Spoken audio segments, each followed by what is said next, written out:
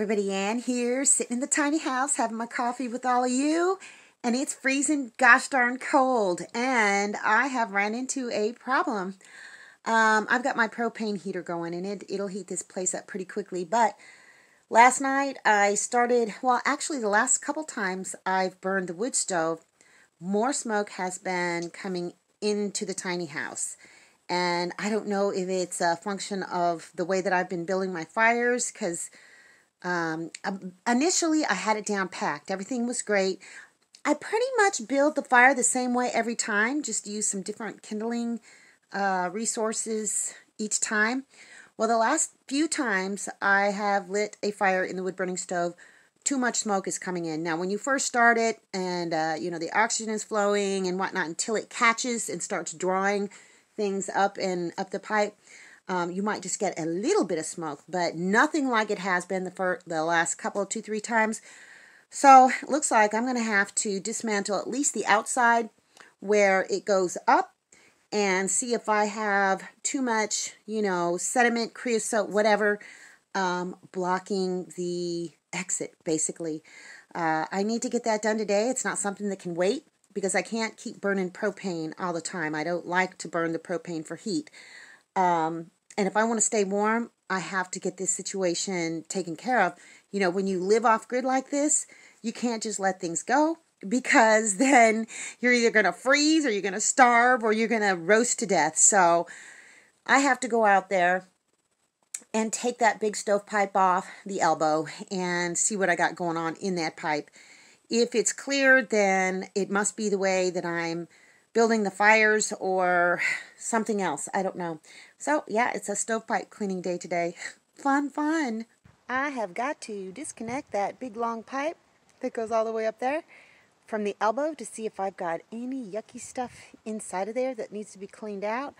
I don't know what's causing the smoke, so I don't know. This is this could be the only thing that's changed because I really haven't changed how I build my fires too much. So, well, let me let me just see if I can find anything in there.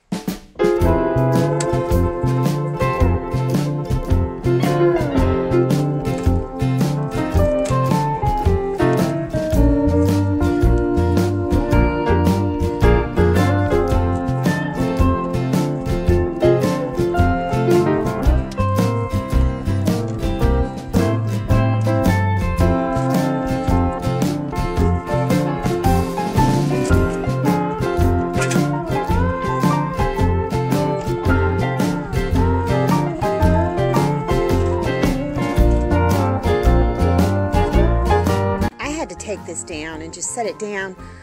I had to work so hard to get that part on, I just didn't want to disconnect it. So all I did is I tapped the pipe and brought it down into this part. And this is all that came out. But look at this. Can you see that? Can you see all that stuff blocking those holes? That is buildup that I need to clean out. So I'm going to have to take this pipe off, get a brush, clean it out, make sure that there's nothing else in there that needs to be cleaned out. And then up here, I'm not seeing anything in there, but I'm going to get a brush and see if I can bring stuff out and push things down that way. Uh, and then I might examine it from the inside too.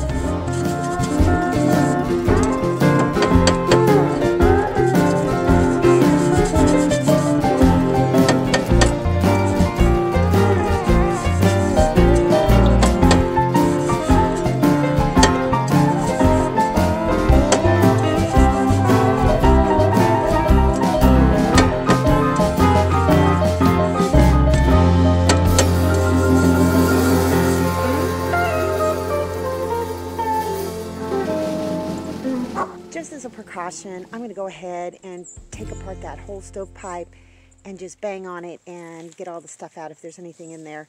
I mean, I'm out here, I might as well. And then I'll go inside and do the same to, to those.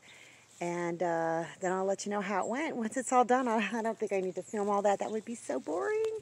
I got this cleaned out pretty well. Uh, this inside as well. There might be a little bit more I could get out. I may do that before I put this on. Um, what I actually ended up doing here, let me show you. The brush really didn't work very well.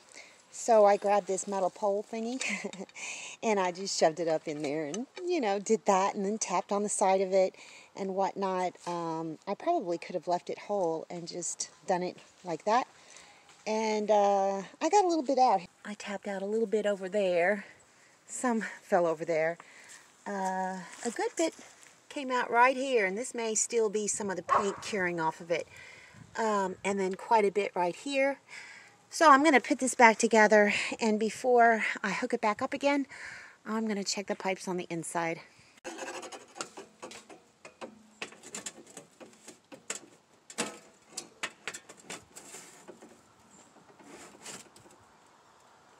It's hooked back up, but what I think what I think I'm going to need. And yeah, like I said before, this comes out too far because it's just going through the window. Once I install it through the wall, it'll be flush.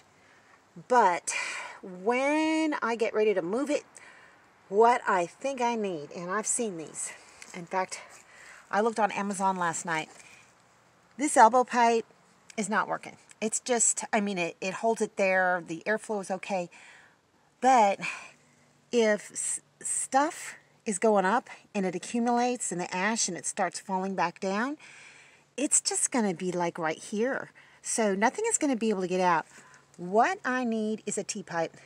Straight, straight, and then a little piece comes down at the bottom. It has a little cap on it. All you have to do is remove the cap, go up in there and clean it out.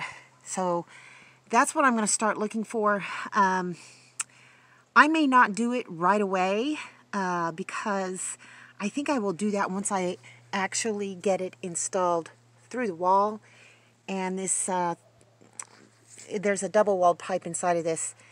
I need a longer one because it's going to have to, it just needs to be longer. So I'm going to get the longer three walled pipe and then I'm going to get a T-pipe that will fit that pipe.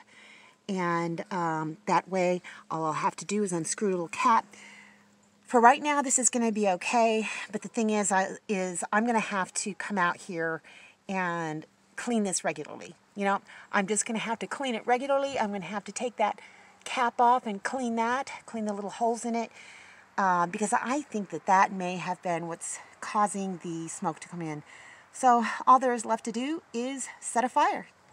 And I will tell you too, I did go inside and check the pipes and there was virtually nothing inside the the pipes inside just a little bit of you know dust and ash. I was able to get that out.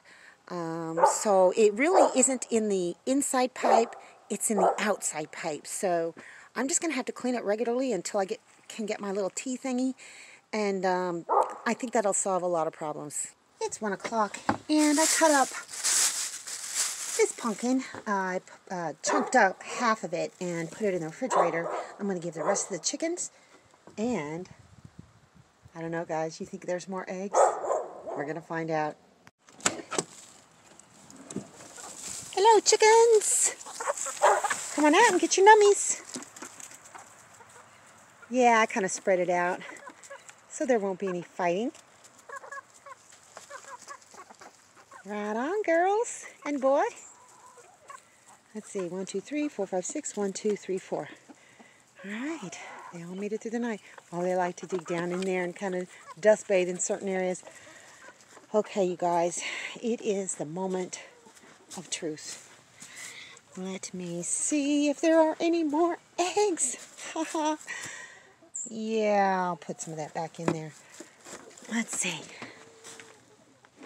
Um, no, I don't think that they would be laying over there. Oh, see, I got them both hanging up now. They've been kicking this around really nicely. Nothing so far, you guys.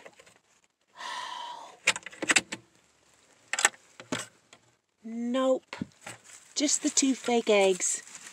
That's okay. I'll put them over there. Because that's where they laid the last time. That's all right. Noticing in here too, it is gosh darn warm in here. It is literally warm. As soon as I walked in, it's like I'm almost sweating. This deep litter method creates more heat, so that's pretty awesome. I managed to keep the chickens in the yard. So far, it's like 2 p.m. and they they well, one flew the coop, and uh, I was able to get her back in. It was Patsy. I can tell because um, I'm calling the one with the biggest comb Mama, and I think she's the one that laid the egg. Patsy is the one with the smallest, palest comb, and there's two that actually have pretty big combs. And then there's one more that's kind of in between. Anyhow, um, I'm going to light my fire tonight, and then I'll let you know in tomorrow's video how that went, whether or not I got a bunch of smoke back in, or whether I've solved my problem. I really think I've solved the problem. So that's been enough of me jabbering, so that's all I got for you guys today. See you in the next video.